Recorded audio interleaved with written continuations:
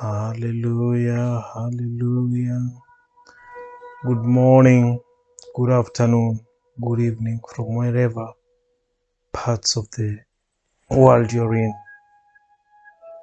It's a new week, a brand new week with happiness, hopes, and positive vibes. Welcome to Adonai's Kingdom, and my name is Awaudi the Messenger. Before we carry on, just let's start with the word of prayer. Hallelujah.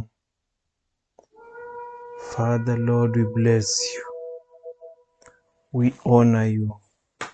We lift up your name, O Jehovah. You're King of kings, you're Lord of lords. We adore you, O Father. As we come before you, use me as an oracle of your voice, O Jehovah. Yes, touch each and every listener, viewer from whichever part of the world they are in. Change their lives for the better.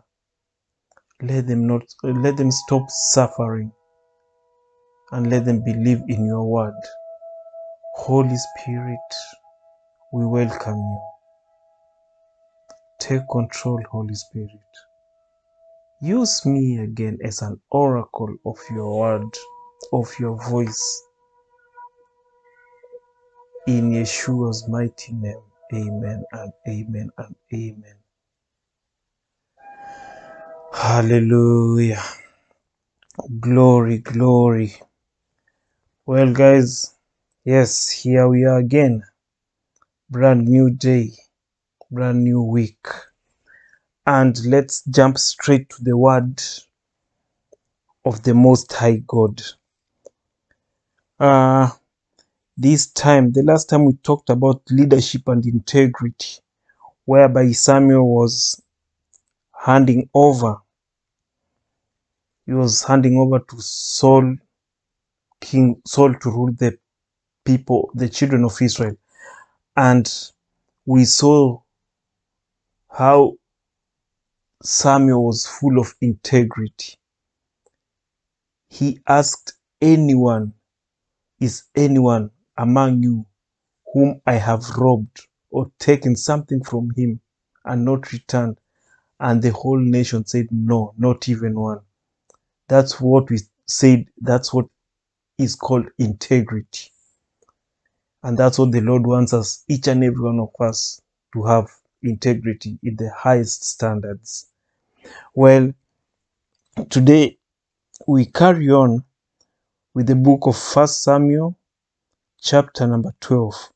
But we are going to verse 8 up to verse 15. And today's title will put it as God's righteousness. You see, the children of Israel had, had rebelled properly, proper, and I mean, on a serious note, to the point that God had to remind them where they were coming from and how righteous He is. So here, let's go, let's go, let's jump to the word and see what happens. Uh, in fact, from 7, it says, "Na- And now stand and I shall reason with you before the Lord. That's Samuel telling the children of Israel concerning all the righteous acts which he did to you and to your forefathers.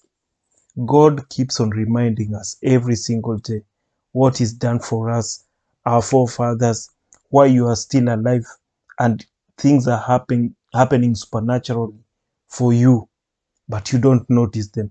Even though you or sometimes people tend to notice and uh, they just ignore because they think ah, it's God. God will just be merciful. So let's see how he reminded them of his righteousness. In verse 8, and when Jacob came to Egypt, and your fa- forefathers cried out to the Lord, the Lord sent Moses and Aaron, and they brought their they brought your forefathers out of Egypt, and they made and they made them dwell in this place. the promised land. And they forgot the Lord. You see, the Israelites, they forgot the Lord their God, and he delivered them into the hands of Sisera, the commander of the army of Hazor, Hazar, uh, and into the hand of the Philistines, and into the hand of the king of Moab, and they waged war with them. That's verse 9. Verse 10 And they cried out to the Lord and said, We have sinned, for we have forsaken the Lord and have served the Baalim and Ashtaroth. Now save us from the hand of your enemies, and we shall serve you. Now they were running back unto the Lord. Okay, so you see from verse 8, God really wanted to restore his children. You see, when you there outside, you forget Adonai, you, you forget Yeshua, you forget about God, He'll hand you over to the enemies. Don't be surprised if things start going bad. That's the enemy taking over your life because you've you've forgotten God completely, and you thought that you can survive by your own. So He hands you, and that's what He did here. He did in a verse 9 and they forgot the lord their god and he delivered them into the hands of the sisera the command of the army of hazar and into the hand of the philistines and into the hand of the king of moab. I mean they were just being distributed to the enemies all over. And, and it's no different from the old testament to the new testament. The same thing. God is the same yesterday today and forever. He'll never change if you mess up with him he'll mess he'll mess your life completely because his presence will move away from you. What I, I may i can advise you the best thing that you can say if you are a child of god the best thing that you can say is to pray like david. You can take anything away from me but never take the holy spirit from me. That's that's a prayer because the holy spirit he, he controls everything. He guides you in all aspects of prosperity protection guidance. He's just there for you. That's why david cried that song. He sang and prayed unto the lord.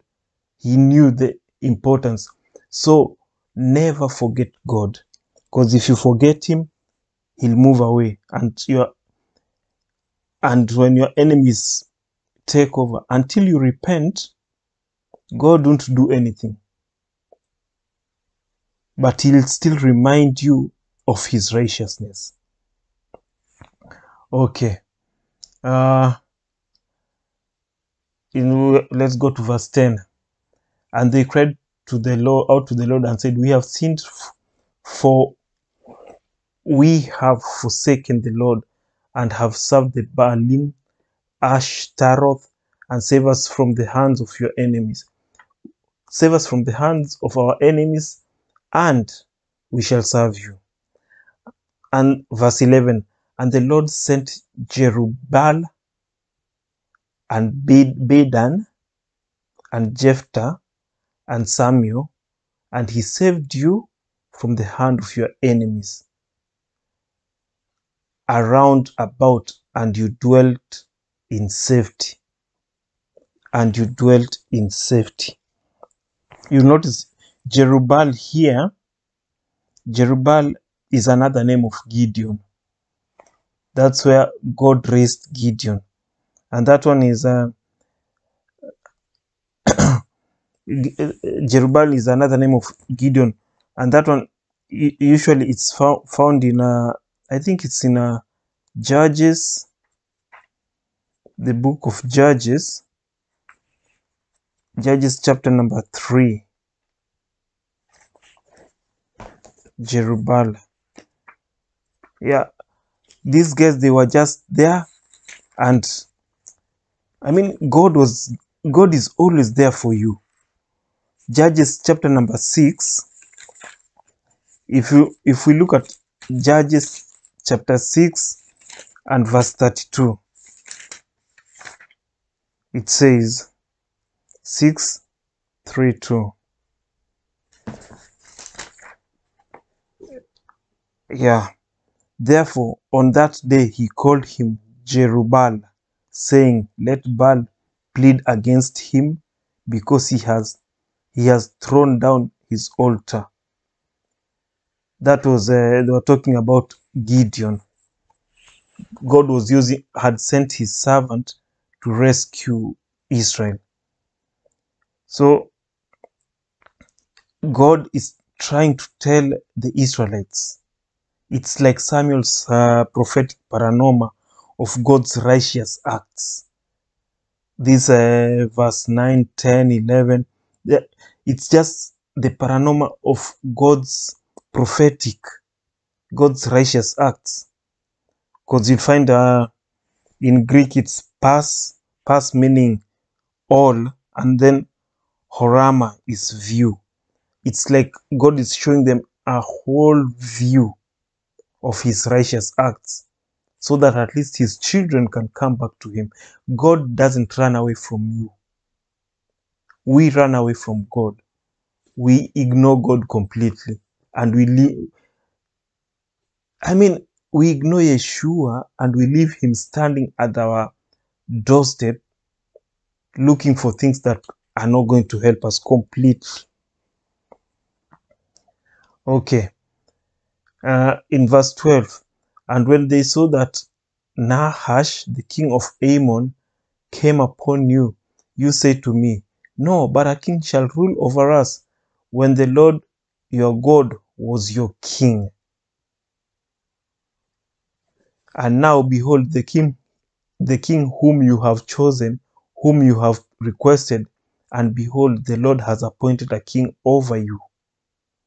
Verse 14 And if you will fear the Lord and serve him and hearken to his voice, and you will not rebel against the commandments of the Lord, both you and the king who reign over you will be after the Lord your God. But if you will not hearken to the voice of the Lord, you will rebel, rebel, rebel against the commandments of the Lord, and the Lord's hand will be against you and against your fathers. I mean, that's a warning they were being given. If you do anything against the Lord, you become disobedient, his hand will be against you. So if we see in verse 14, they were given a freedom of choice. It's a freedom of choice for your blessing to come. The Lord will never force anything. They wanted a king, he gave them. He'll never force anything on us. It's our free will to choose. Of all God's acts to his children based upon his covenants, like Abra- Abrahamic covenant in the Old and Yeshua's covenant in the New Testament. All of these covenants, God doesn't let us down. He tells He tells us, do this. If you do this, if you obey me, if you worship me, if you trust in me, I'll never leave you nor forsake you. I'll be with you until the end of the times. So it's up to us to follow and trust him completely. So we see again that in verse 9, they forgot the Lord because he did not, but yeah, they forgot the Lord, but the Lord did not forget them. So we find Israel is depicted as uh, God's wife. Usually, God didn't forget about Israel completely because God is like the husbandman to Israel. You- and if you want to, if you want to approve of that, you we can see it in uh, Exodus 24, the book of Exodus, chapter number 24 and verse 3, whereby God was giving them commands. It's just like in a wedding where a husband and a wife they are taking vows. They'll trust each other. They'll, I mean, they'll follow each other till the end of the times. So in Exodus chapter 24 and verse 3, Moses came and told the people all the words of the Lord and all the judgments, and all the people answered with one voice and all and said, All the words which the Lord has said, we will do. That's a covenant. That's why God took them as a wife. Israel was like a wife and is still a, like, like a wife to God. And even you there, as long as you are a believer, you are like a bride to Yeshua. And He'll protect you. He'll protect you if you follow His words and trust in Him on a serious note.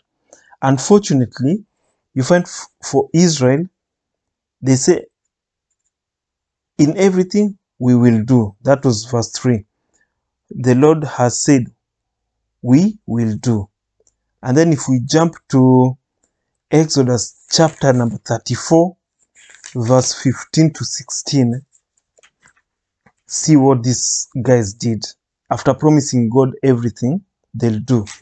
15 to 16, it was like, Lest thou make a covenant with the inhabitants of the land, they've forgotten about God. This is what happens to us every day. Let's make a covenant with the inhabitants of the land and go whoring, like prostituting after their gods, and do sacrifice unto their gods, and one and one call thee, and thou eat of his sacrifice. See, eating the sacrifice of the idols, and thou take of their daughters unto thy sons, and their daughters go a whoring or prostituting after their gods, and make thy sons go on whoring, prostituting after their gods. That's how they broke it. And that's what's happening today also. The covenant with God, we are forgetting it.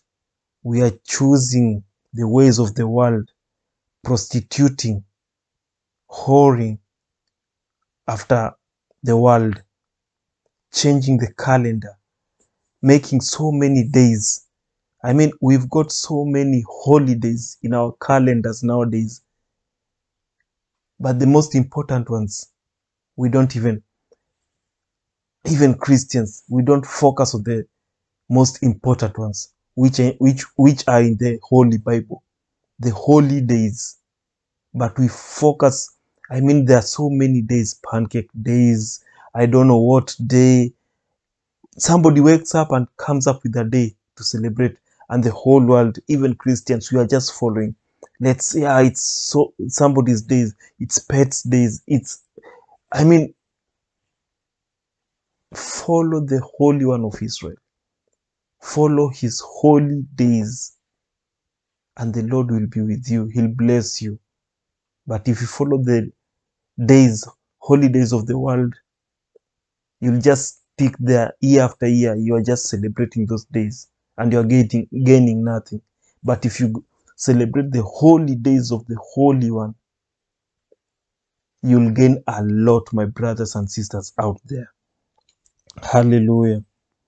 So you find, even though you don't want God's way of leadership, He is faithful. He's a faithful God. And if you obey His commands or laws, He will be with you. So these guys were given a king, and God decided to be with them. God gave them the, their desires. Because in Psalm 78, Daniel says, Give me the desires of my heart. 78, 29 to 31. The desires, if you pray for the desires of your heart and you are walking with God, He will provide it and you'll never lack. So it's up to you. Remember the righteousness of God, the righteousness of the Holy One of Israel, and follow those righteousness and His commands, and you'll be surprised with what the Lord will do for you. In Yeshua's mighty name. Amen and amen. If you're there, you don't know anything about Christ, and you want to be part and parcel of the kingdom of God, say this prayer after me Father, Holy One, I come before you. I am a sinner. Cleanse me of all my sins. Guide me, teach me, forgive me of my iniquities. I believe that Jesus, Jesus Christ died for my sins on the cross. He shed his blood because of me. On the third day, he rose again and he seated on the right hand side of the Father. Oh Lord, you, Father. And he'll come again to judge the living and the dead. Father, forgive, accept me in your kingdom. In Jesus' name, amen and amen. If you said that prayer, heaven is rejoicing. Everyone is celebrating because you are one and only. I mean, even me, I'm happy for you. Your life will never be the same again. Join a church near you, get a Bible, a King James Version, and start reading the Bible slowly and slowly. In the church, you'll find Christians who will show you the way and you'll never regret. God bless you, my brother. And Father, I pray for my viewers, each and every one of them. Let them know of your righteousness, the things that you've done to the world ever since it, we came to this world. You've been with them. Open their minds, their hearts. Let them know that you are Yeshua, the Holy One, the one and only true God. Bless each and every one of them. In Jesus' name, amen and amen and amen. Hallelujah. Guys, see you next time and God bless you. Shalom. Peace.